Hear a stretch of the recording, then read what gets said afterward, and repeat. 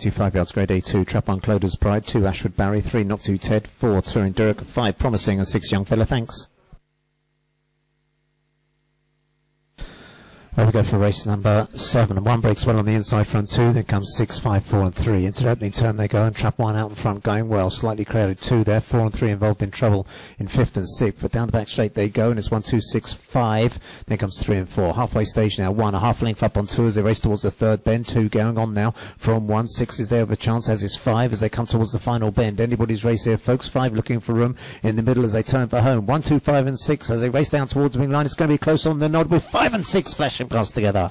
Very, very close. Another tight photograph here in Tralee for our seventh race. The winning time was 29.21.